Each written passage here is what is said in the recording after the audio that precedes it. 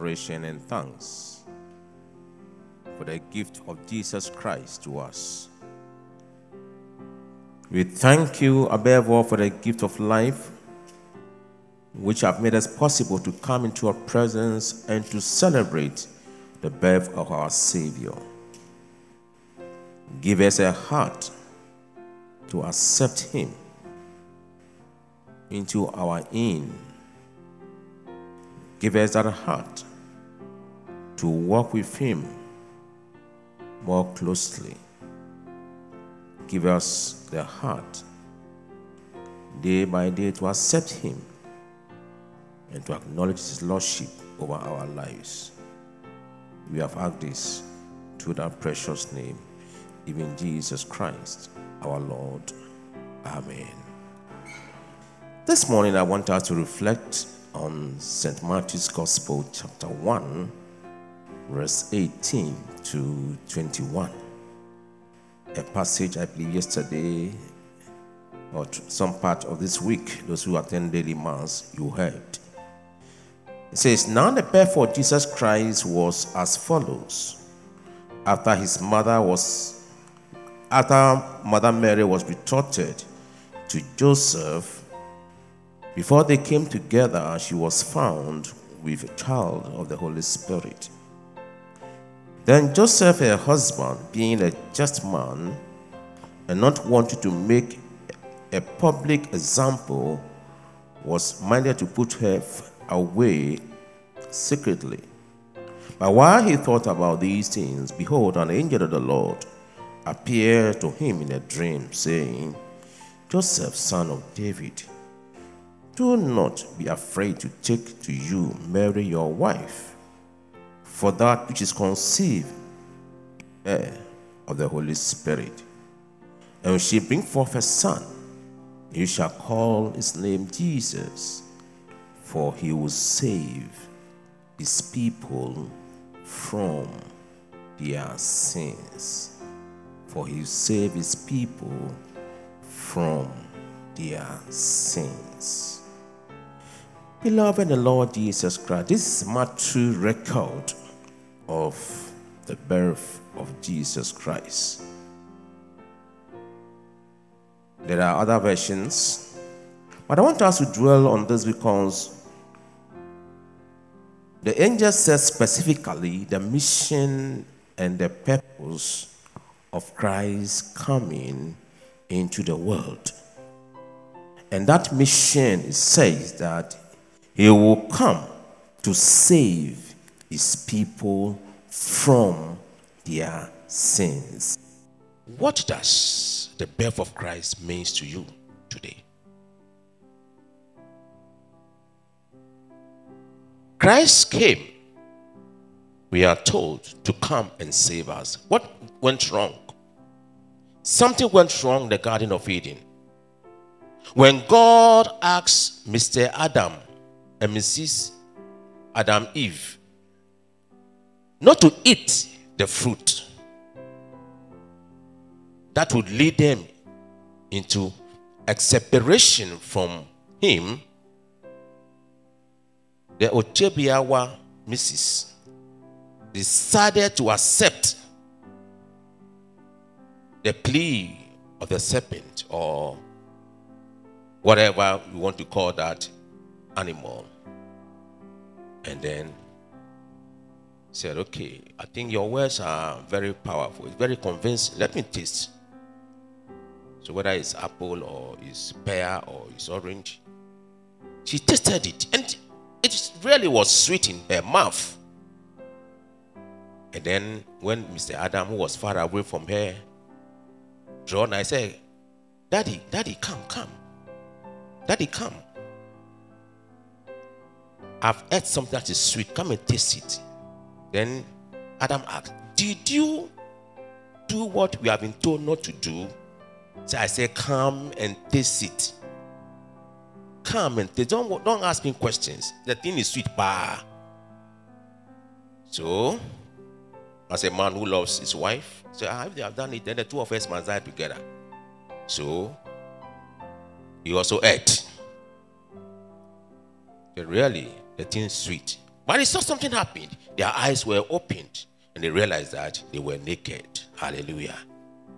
So when God saw that they have done what they are not supposed to do, he came down again now to converse with them. Knowing what will happen, he said, Adam and Eve, what are you? Call, call, call, didn't respond. But finally, Adam realized that they can't just turn away from him.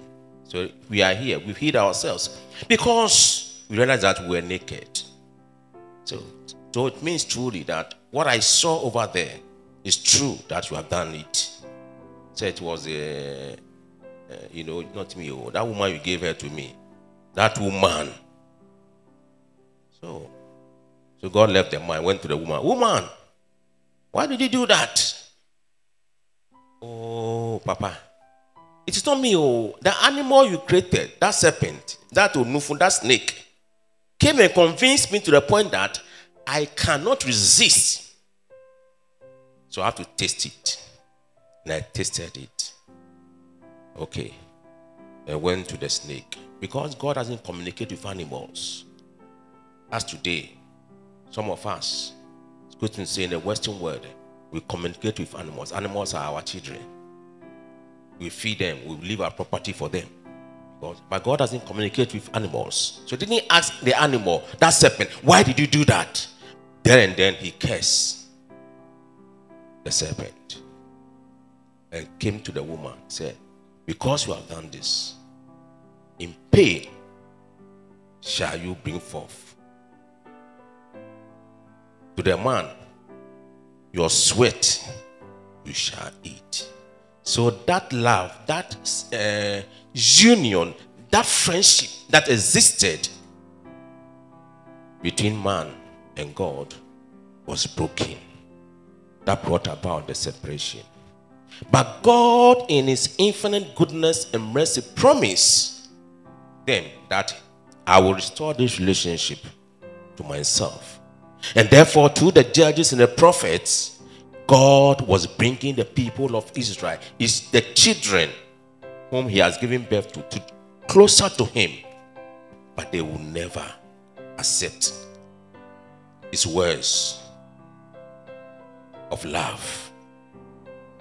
And so, in the second reading for this morning, Hebrews 1 1 to 4, the writer says, God, through the prophets, has been speaking to us we did not hear. But now he has come himself in the form of man. Jesus Christ in earthly ministry told them, Oh, Jerusalem, Jerusalem, why do you keep killing the prophets that I, that are sent to you?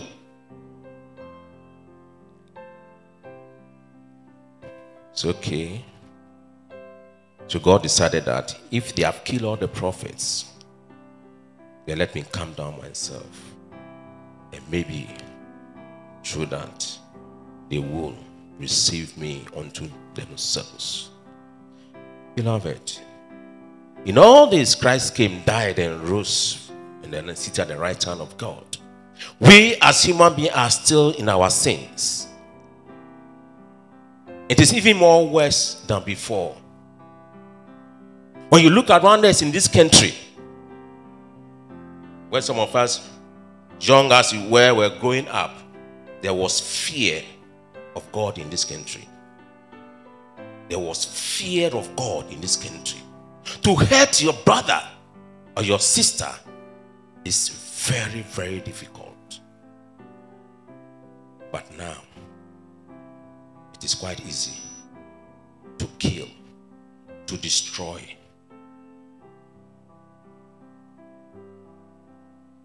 Christ says, I came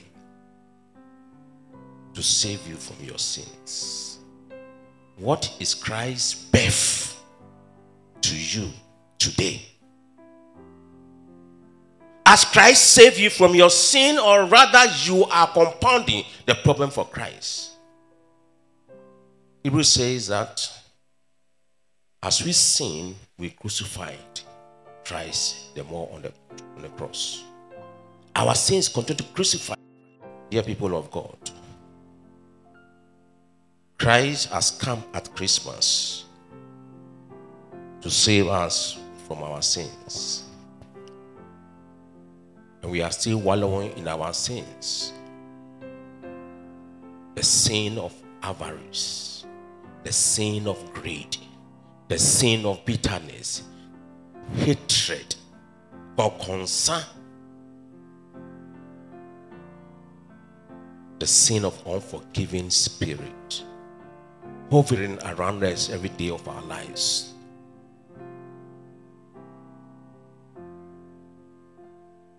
Today we have come to celebrate Christmas. What is that to you? What is Christmas to you? As that man come and touch your life, therefore there's a renewal of your mind that leads to transformation. Or you are, let's say, on a time we are baptized, confirmed before the communion. Is there any renewal of mind that's leading to transformation of your life? That people can testify that Christ has come to save you from your sins? Or they say to Ken Ken no near. And they don't even go to church. If it is the way you behave, I don't think I need to go to church. So because of it, someone that stopped going to church. It can be a suffer. It can be a leader. It can be a member of the guild. Many have stopped going to church. Look at the cathedral. Look at us. This is the cathedral. We don't have any other cathedral anywhere. But because of our ways, our sinful ways, our concerned life, our life that by bites, Christmas Day, the cathedral, some pews are empty. The cathedral. Because he's quarreling with somebody in the guild. The leader. So why should I go and sit there when I could see that person? Look at in front of St. Mary's Guild. That space left for St. Mary's Guild. That space left for Trinity Guild. That space left for Shepherd. Where are they? What is Christ's birth to you today? Does birth of Christ means anything to you at all? He came to save us from our sins. He didn't come that we may enjoy by eating and drinking. He came to save us from our sins. He wants a transformation. He wants a relationship. He reconciled us to God. As Paul says, God was in Christ, reconciling the world unto himself. And have we been reconciled to God? Can we stand and look at God's face? Or we are still in our sins. God expects us to have a relationship with Him so that before we call, He will answer. Before we cry, He will hear us. In the book of Philippians, the second chapter and verse 15, Paul said this to the Philippians. 2:15. Let me read from verse 14. Do all things without complaining and disputing, that you may become blameless and harmless.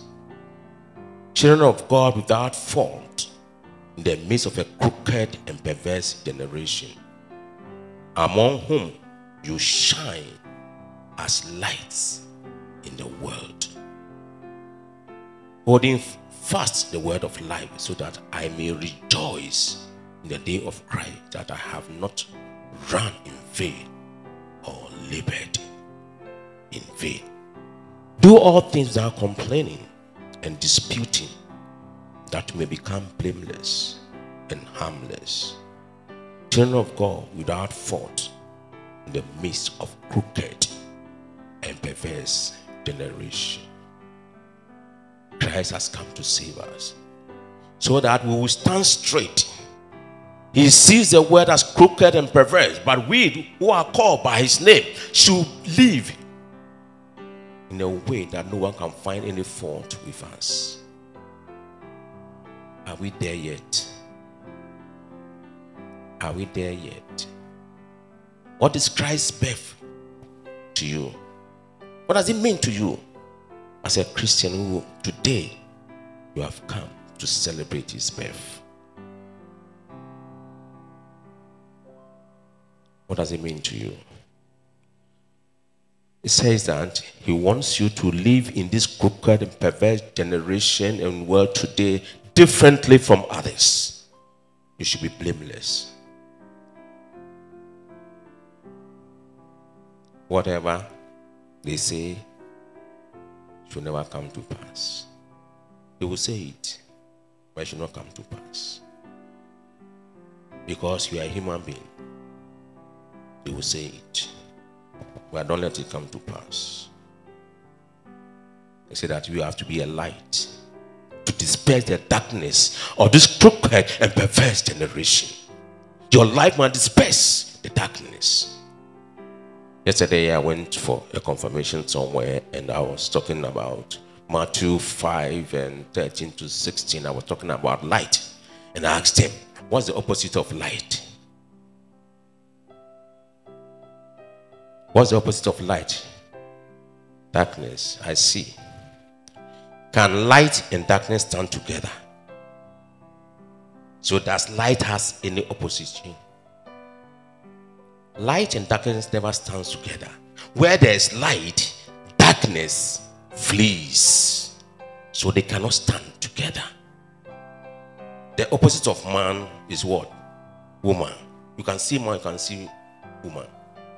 But you cannot see darkness and light at the same time. Never. So if you are the light, then there shouldn't be any darkness in you.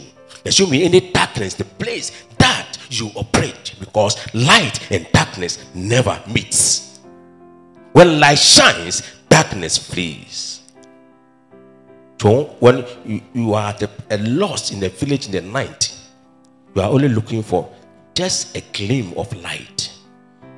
And you see a light far away, shines in the darkness. So you know that you are getting closer to a life. There's somebody here. The light leads you there. Say, ah. And when you get there, there's no darkness.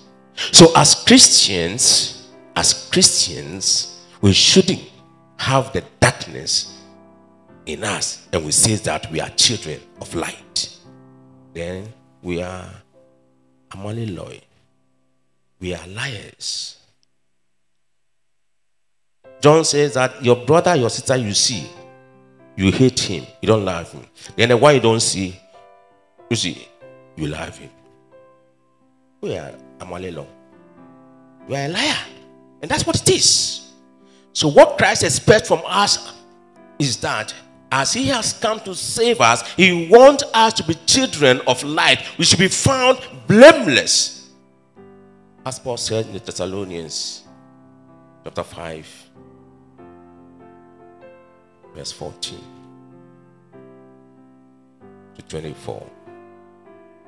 Verse 3 says, You should be blameless at the coming of the Lord when he comes, he should find you blameless. He should find you blameless. That is what one is expected of us. Second, eh, let's turn to Titus. Titus chapter 2, verse 11 to 13. For the grace of God that brings salvation has appeared to all men and women, teaching us that denying ungodliness and worldly lusts, we should live soberly, righteously, and godly in the present age. Looking for the blessed hope and glorious appearing of our great God and Savior, Jesus Christ. He says that if Christ has come, Christ has descended to earth and is living like one of us so that we reconcile us to you. What he expects from us is that one, we should be blameless, but he says that living, we should live soberly. We should live soberly. The spirit of humility and gentleness. Do away with denying ungodliness and worldly lust. You live soberly. You live righteously. You are a human being, but the, you should make the constant effort to live righteously. For Paul says to the Romans in chapter 8, verse 14, that as many as are led by the Spirit, they are who? The sons and daughters of God. So, for you to be able to live soberly and righteously, it is the Holy Spirit that Christ promised you and has given to you that will guide you and lead you to live righteously and soberly.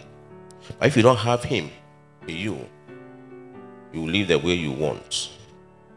When He appears, He will not count you as one of His. We should live soberly, righteously, and godly in the present age.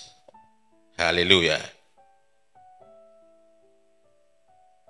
Paul said, in the present age, we should not wait that that tomorrow will come. It's too late. Today, he expects us. So, dear brother, dear sister, my question to you is what does the birth of Christ Jesus means to you today? Has the birth of Christ done anything to your life? Or year by year you come, celebrate, go and come, and you are the same. St. Paul said to the people of Rome, I beseech you, brethren, by the mercies of God, to present your bodies as a living sacrifice, holy and acceptable unto God, which is your spiritual worship. Furthermore, do not conform to the standard of this world, but be renewed by the transformation of your mind. May our minds be renewed May our minds be renewed. May our minds be renewed that the world will know that we are called the children of God. In the name of God, who is Father, Son, and the Holy Spirit. Amen. As we conclude this powerful sermon, may the message accompany you on your Christian journey. Thank you for joining us, and remember to share this message to spread the gospel. Blessings to you all.